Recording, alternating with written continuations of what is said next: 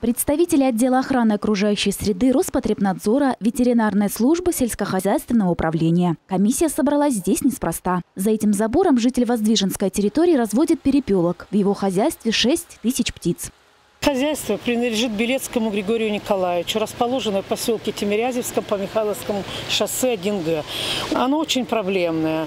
Во-первых, э, весь э, куриный помет, который находится у него, он э, выбрасывает везде, где ему, как говорится, приходится и под мостами, и на речке, и на дороге. Мы, конечно, ведем с ним борьбу, стараемся ему, я стараюсь ему как бы и помочь найти место, куда этот помет можно сбросить. Люди жалуются, постоянно поступают жалобы. Недовольство жильцов вполне объяснимо. Буквально в нескольких метрах от этого подворья находится жилой дом. Гулять с детьми, проветривать квартиры, открывать окна, сушить белье на улице здесь просто невозможно. Запах стоит жуткий. Уже несколько лет страдают жители близлежащих домов. Беседовать и искать компромиссы с соседями хозяин этого подворья отказывается. Трудно найти на него управу и со стороны администрации. Хозяйство это зарегистрировано как личное подсобное, а в своем дворе хозяин может делать все, что угодно. И разносится это зловоние вот этих трупов. И вот мы дышим, дышим дети наши, дышат наши, все жильцы наших домов. Вот все это окна невозможно открыть.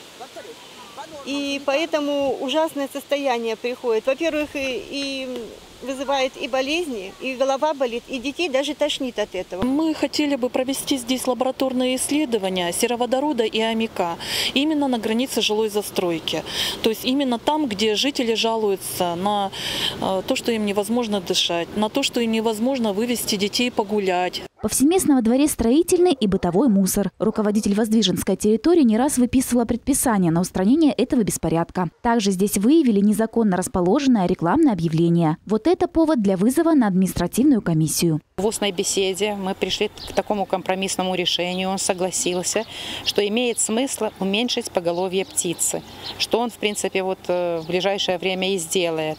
А вместе с тем будет изыскивать другую площадку и предварительная договоренность есть, чтобы все-таки соблюсти расстояние до жилой застройки и перевести данное хозяйство ну, с соблюдением требований.